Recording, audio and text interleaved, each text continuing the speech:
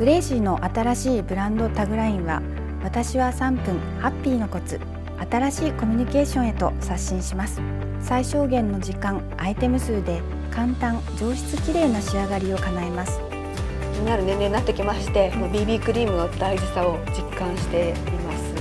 す。忙しくて自分のことはつい後回しになるんですけど、はい、気分よく過ごせるやり方を自分の中に一つあると毎日が楽しくよりよく過ごせるなと思うのでそういったところでメイクの力って大きいなと思うんですよね。忙しい毎日を送っていらっしゃる皆さんにもグレイシーなら3分でハッピースマイルな毎日が送れます。毎日を楽しんでください。